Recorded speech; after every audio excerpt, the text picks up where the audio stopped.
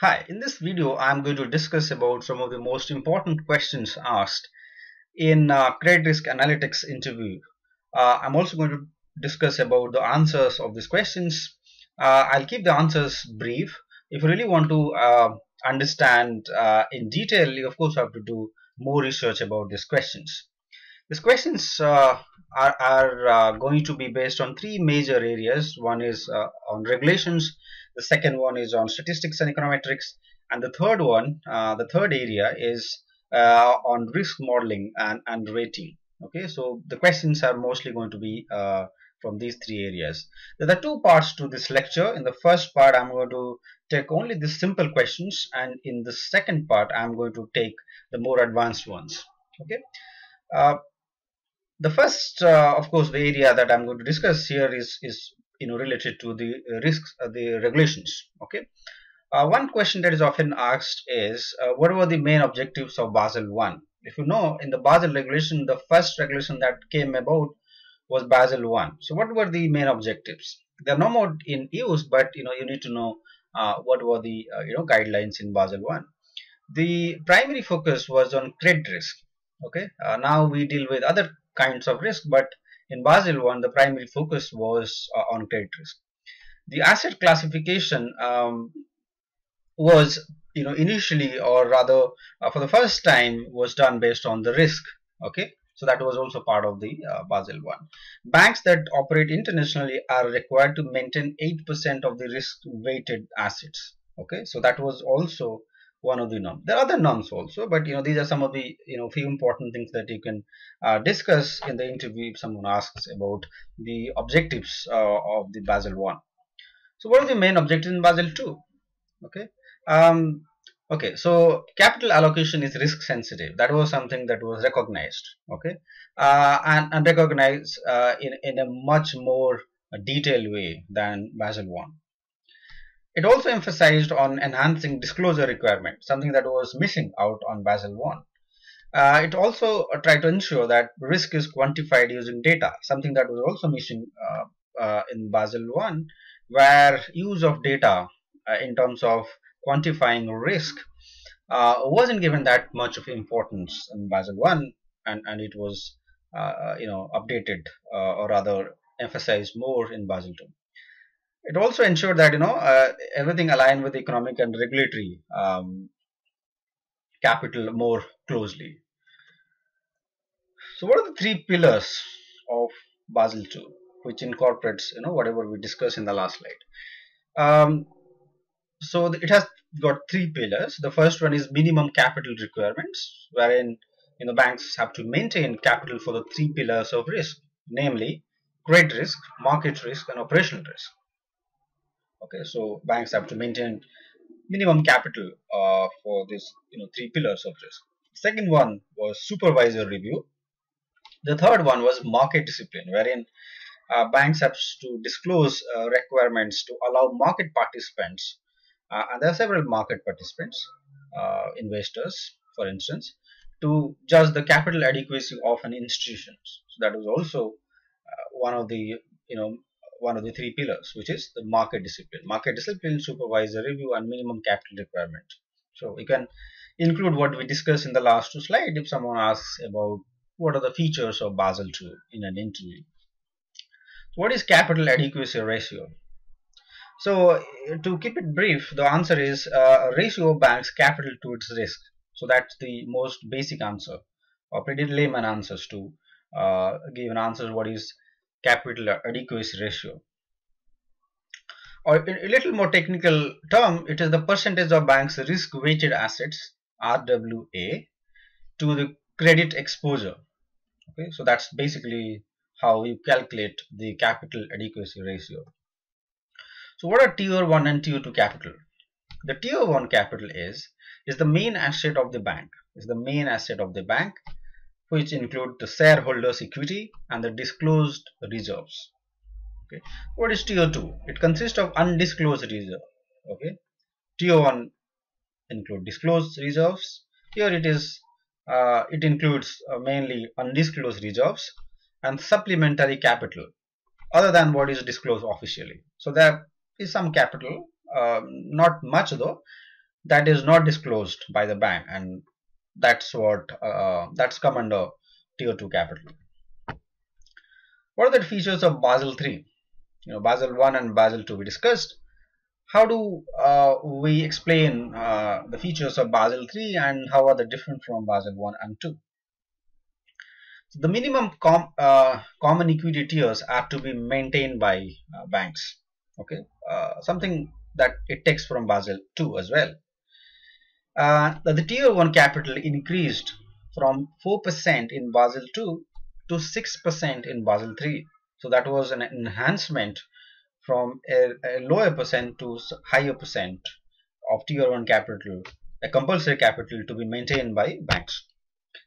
To maintain leverage ratio of 3%, okay, and what is leverage ratio? It's basically the ratio of tier 1 capital to the total exposure. So that has to be maintained at 3% and there were introduction of LCR and SFR we will discuss uh, in a little more detail in the next few slides.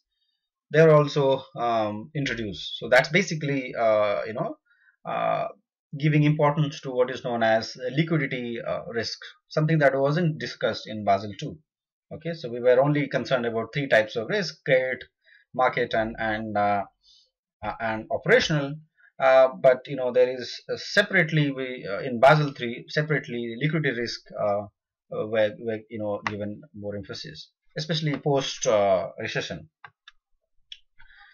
So what is an AR IRB method? Okay uh, i'm sure if you're working in basel these are pretty trivial questions. You know already you are familiar with risk management.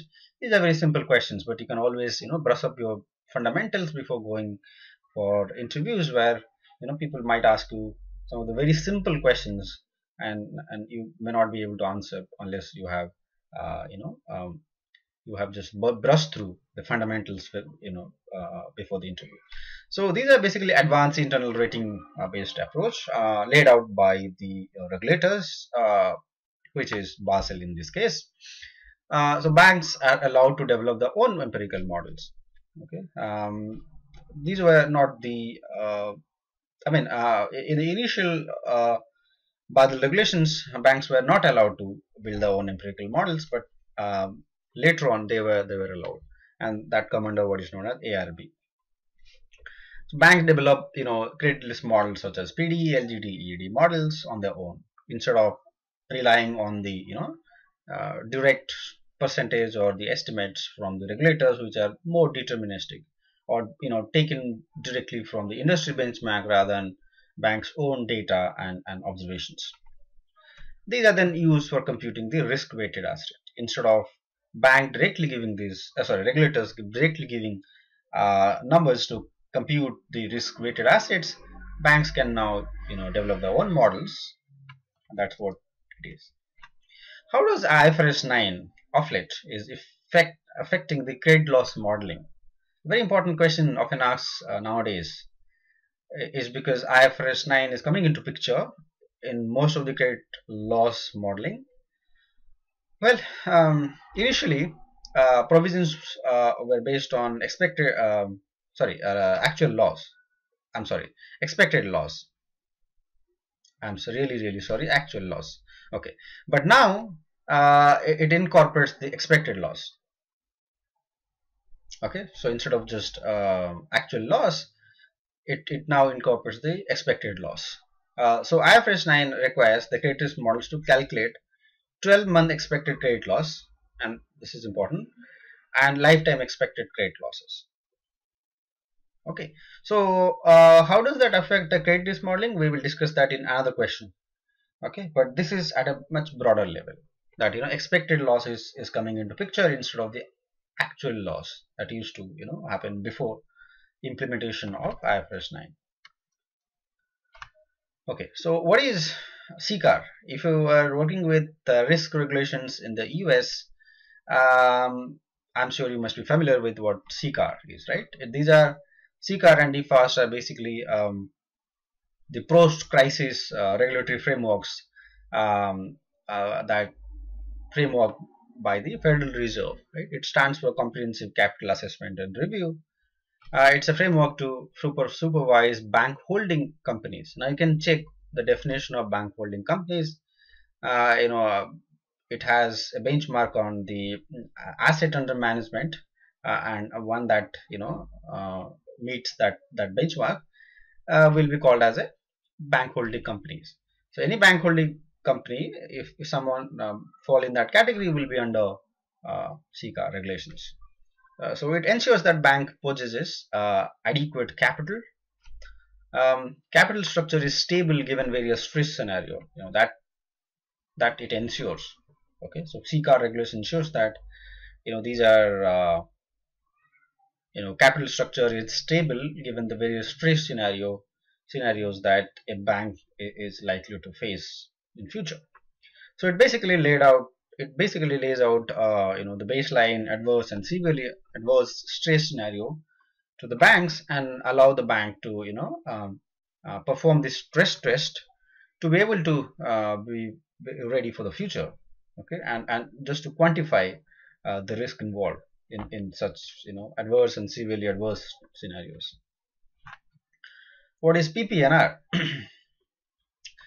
pre-provisioning net reserve uh, it, it it mainly deals with the forecasting of balance sheet or the profit and loss.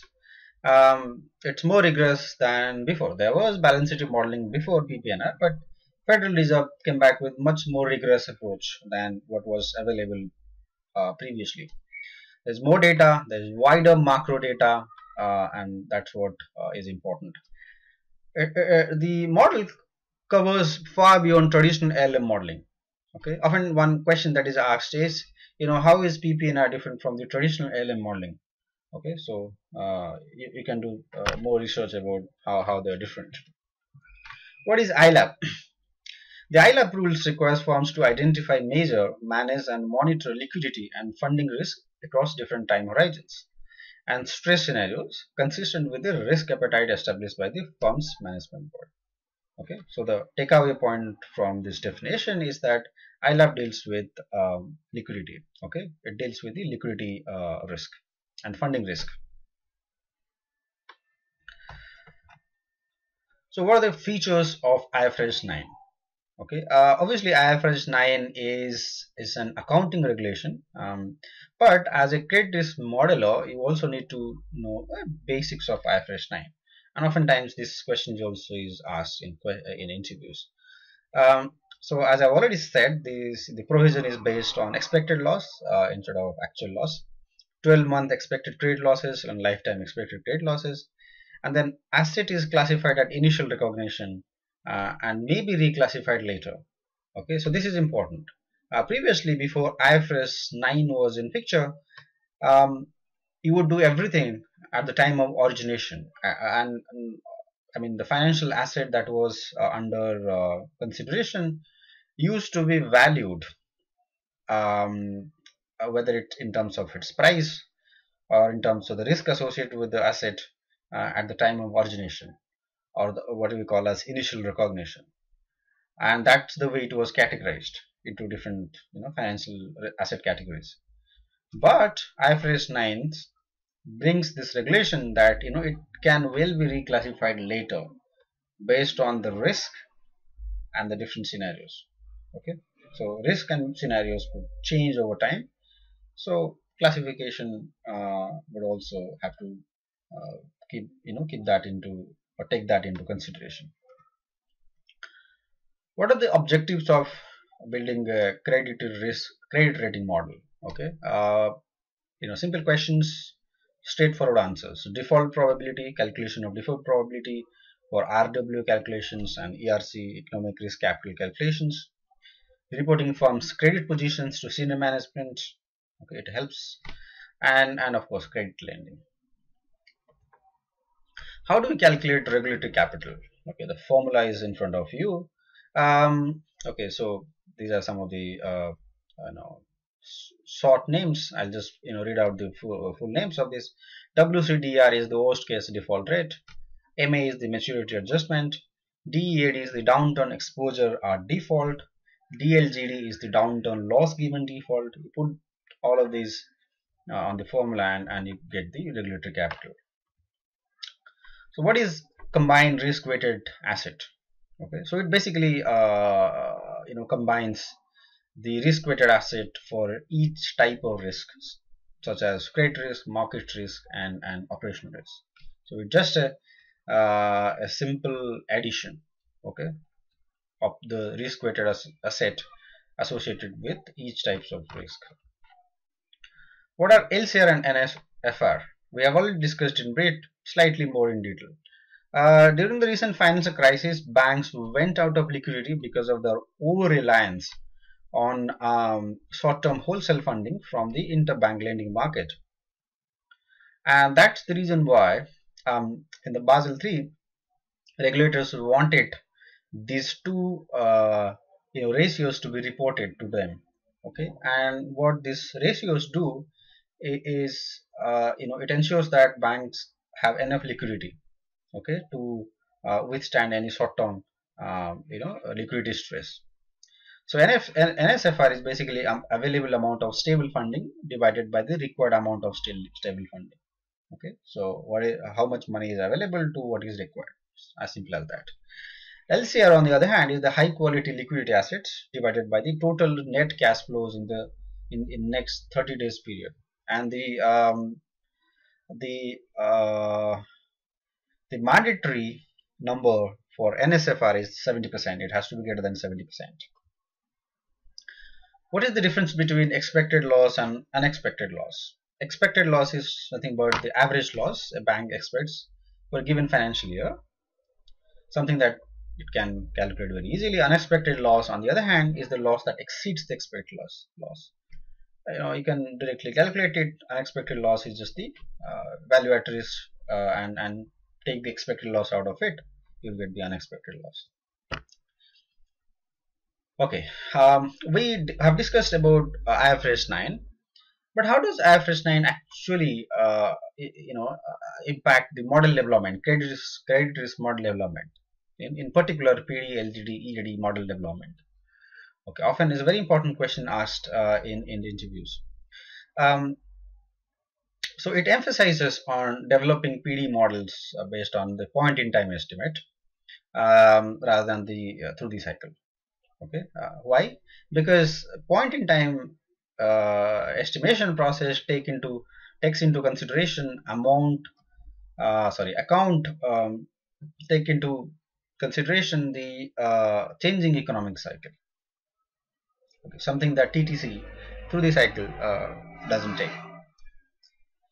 Uh, in the AIRB modeling framework, it is assumed that PD scores are used while pricing loans at the origination.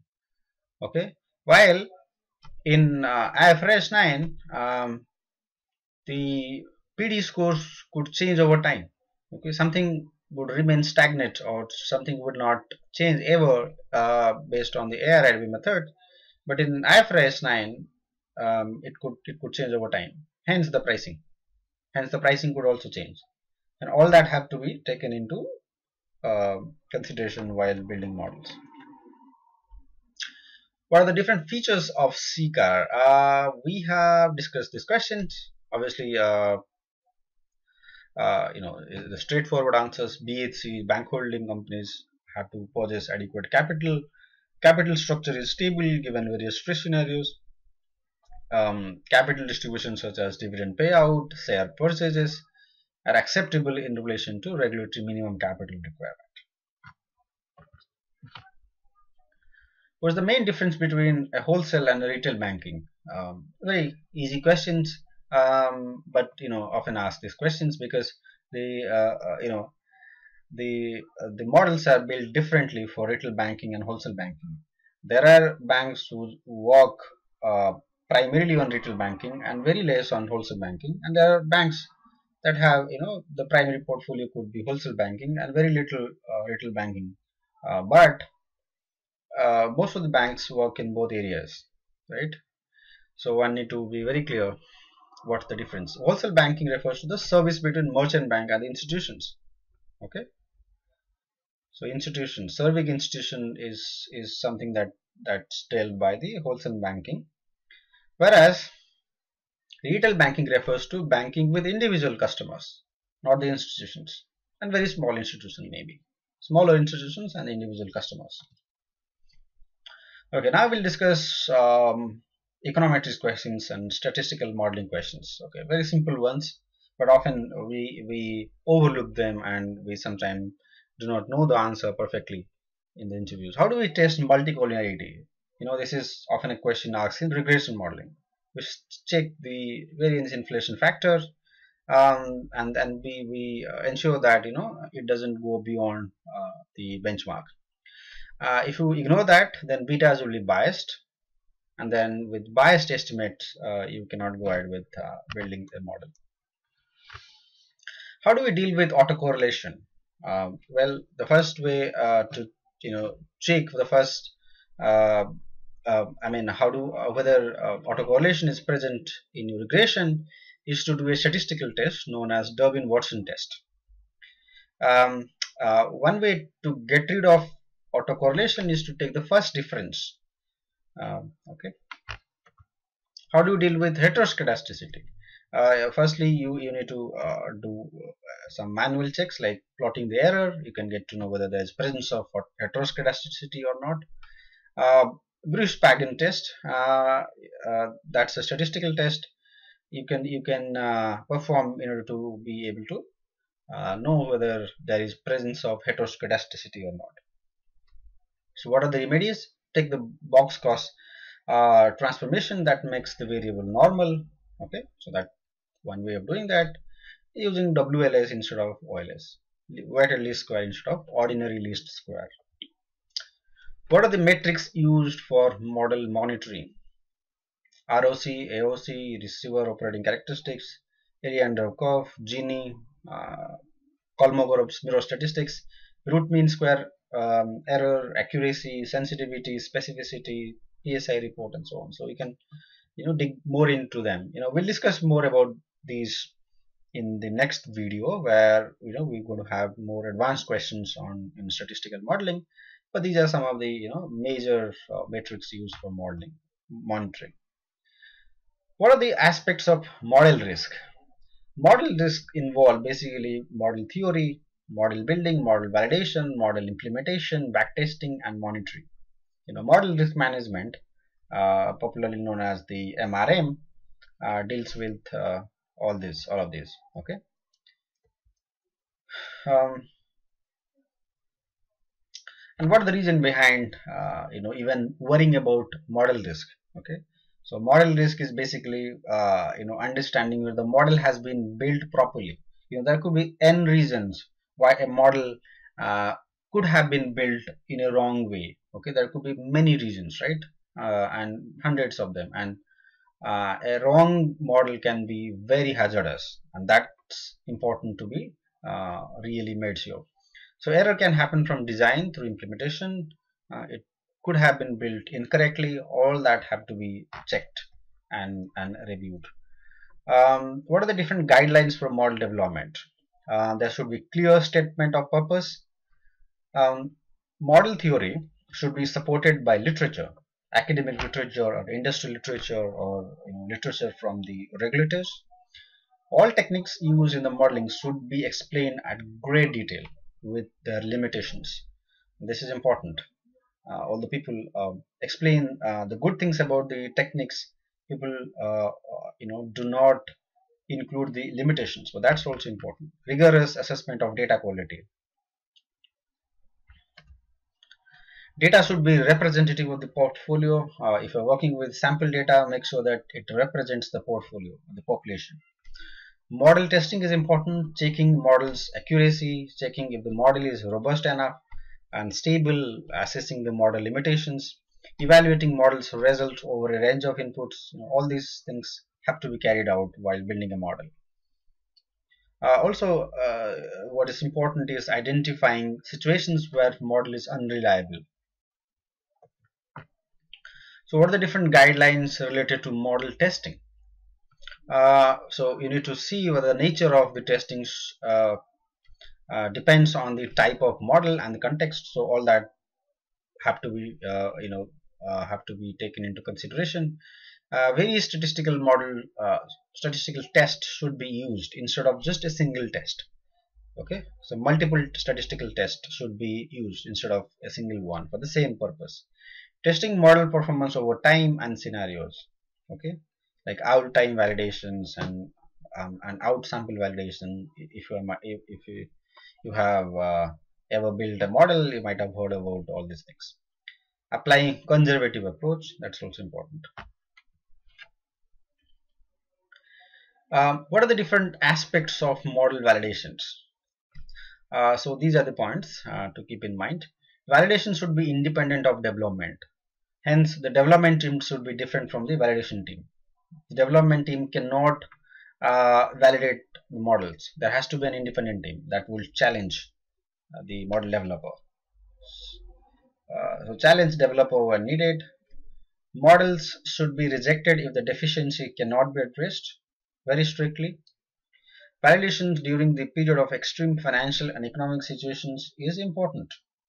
Okay? So it is not the uh, business as usual situation that's uh, Uh, to be considered the extreme scenarios uh, financial or economic situations should also be taken into consideration while building a model model validation should incorporate changes in products okay what if a new product is introduced in future whether the model is going to be good enough for the new product or not validation should be periodic annually, half yearly or so on. More frequently the better. But obviously depending on the budget and, and the uh, regulatory requirements and so on. Model performance threshold and benchmark analysis should be part of the validation. Okay, validation involves a number of tasks like evaluation of conceptual soundness, okay, uh, the theory behind building a model or the tools and techniques used, ongoing monitoring and benchmarking, outcome analysis, and you know backtesting and so on. So validation involves the three major you know steps. We'll discuss more about these three steps in in detail. So what are the different guidelines related to uh, conceptual soundness? Validation should confirm if a model has been verified with published research. This is important.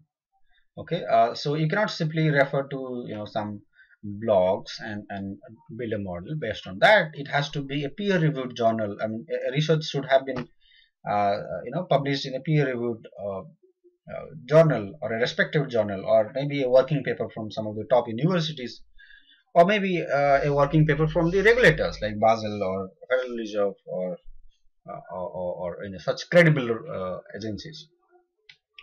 Sensitivity analysis how is uh, the model going to behave when there is small changes in the model parameters? And how, how does it make difference to the output you know? A small change could make a lot of difference to the model output if that's what is happening then the model is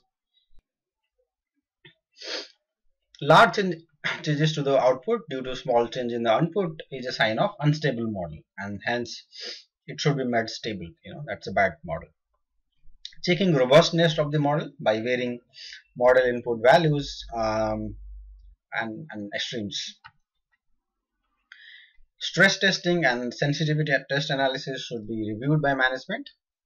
Okay, and if it indicates it may be inaccurate, unstable in certain situations, then the model should be modified. If you think that you know, uh, you know, the model is not performing well, uh, or a model is not fit, uh, a model is in, unstable in certain situations and it cannot be changed then in that case uh, there should be complete uh, rebuild of the model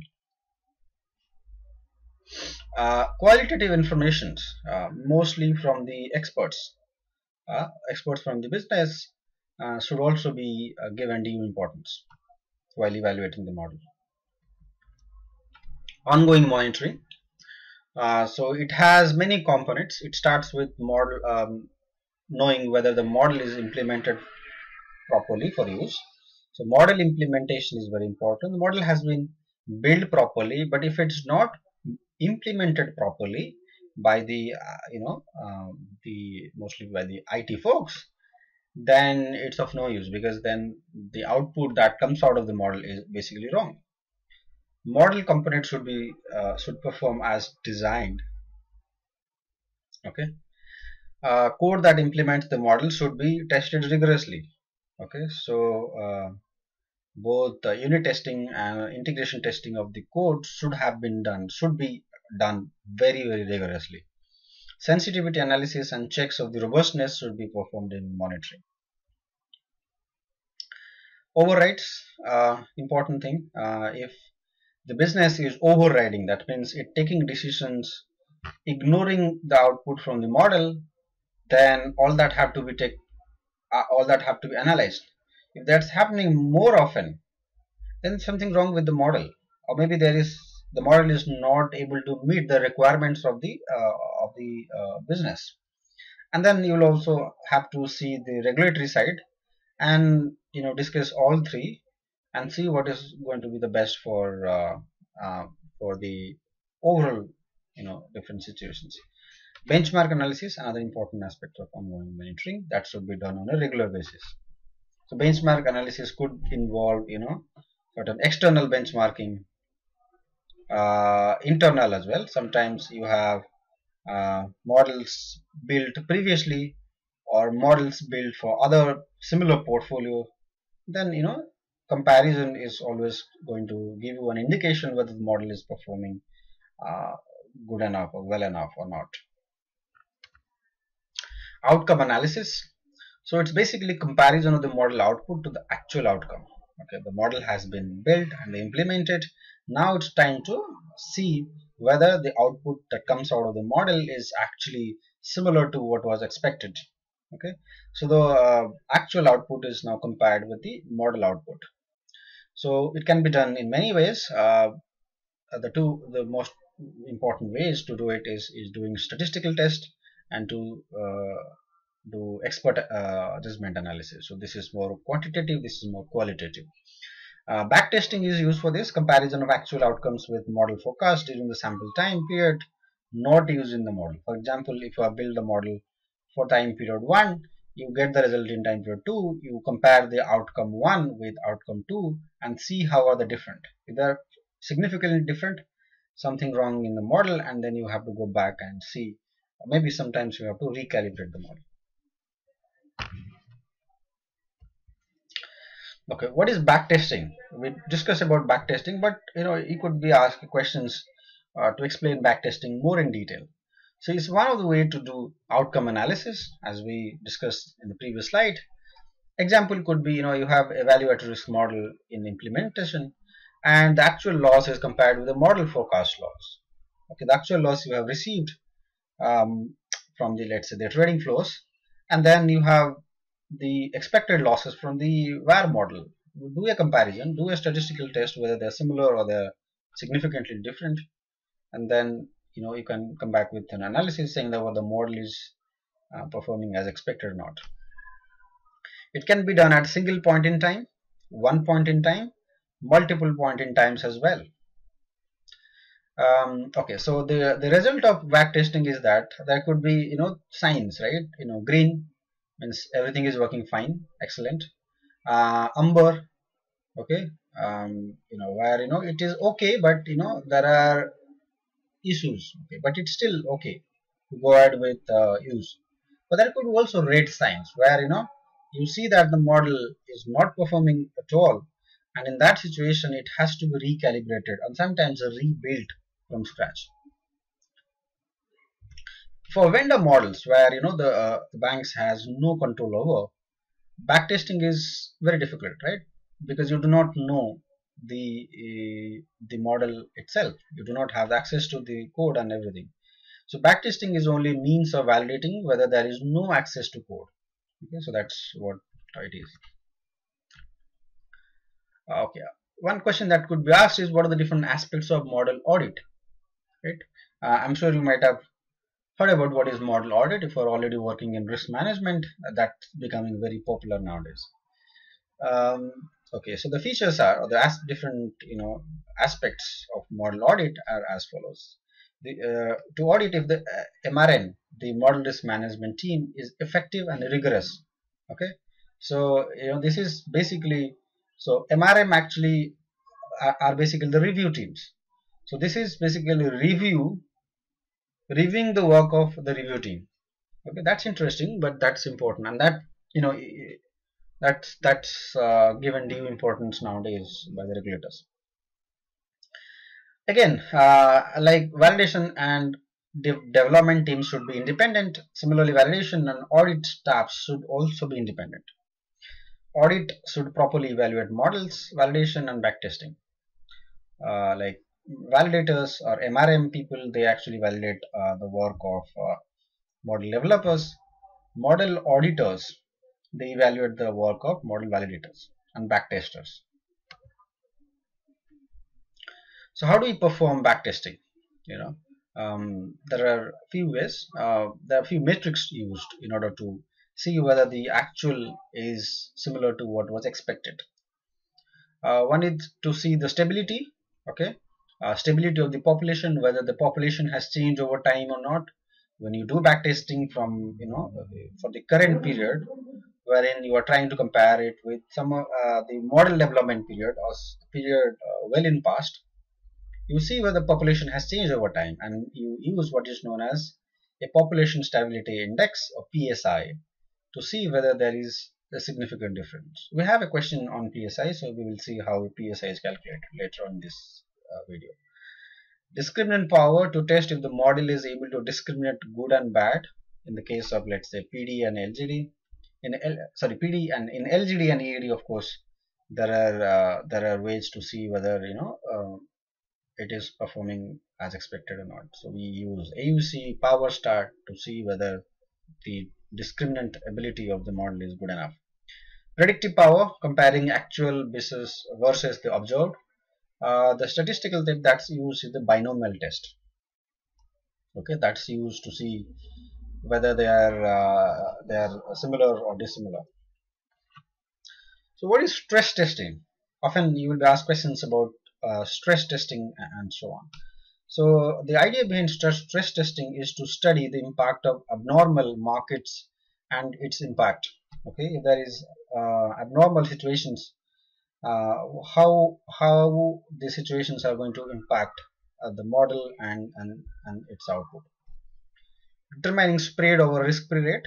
So that's another reason why you go in for stress testing uh, risk period obviously is much less so you, you place a risk premium for that so it also helps in terms of pricing in terms of pricing okay to know um, you know what are the extra stress that's involved with this particular financial asset given you know the situations uh, that could that could come in the future and based on that you see uh, the spread the credit spread regulatory requirement uh, it's uh, always a regulatory requirement to provide stress testing reports. In fact, CCAR, you know, DFAST are basically stress testing uh, framework for the bank to conduct on a regular basis. What are the different types of stress testing methods? Uh, few types I'll discuss. Sensitivity test to see impacts of the change in the variables. Um, variables as in the variables used in the model. Okay. For instance, the income of an individual or uh, the you know the credit score of the individual and so on but doesn't take into consideration the macroeconomic information okay it is only the variables related to the individuals or an institutions not the macro variables inflation interest rate unemployment and so on scenario test to see impact of portfolio um, uh, in, in a, based on events okay so what if this event happens and what will happen if that event happens. So that's come under what is known as scenario testing. Scenario testing could be two types, historical scenario testing wherein you are taking only the situations or scenarios from history or things that have uh, occurred in past. So taking only historical scenario is what is taken in historical stress testing. Hypothetical stress testing is another way of doing uh, scenario testing wherein you are taking scenario that have not yet happened and that's the reason why we're calling them as hypothetical something that have never been realized but could well happen although the probability or the chances are very small but yet you cannot rule out.